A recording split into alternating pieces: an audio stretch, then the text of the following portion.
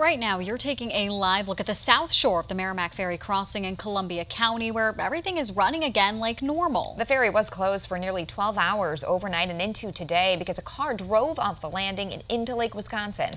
New at 4, Chloe Morrissey has you covered on what we know about the crash. The Merrimac Ferry is back open now after closing down overnight until late this morning after a car drove off the water landing and into Lake Wisconsin. You can see the vehicle driving down towards the ferry landing and come to a complete stop at the lights. But then the driver keeps going straight into Lake Wisconsin.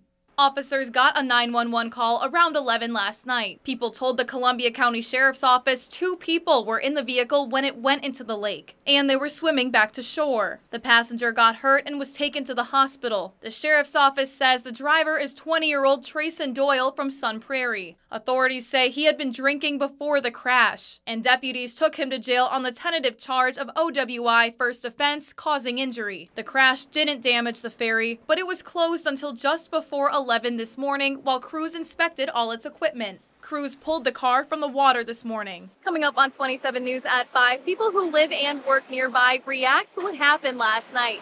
For now, reporting in Columbia County, Chloe Morrissey, 27 News.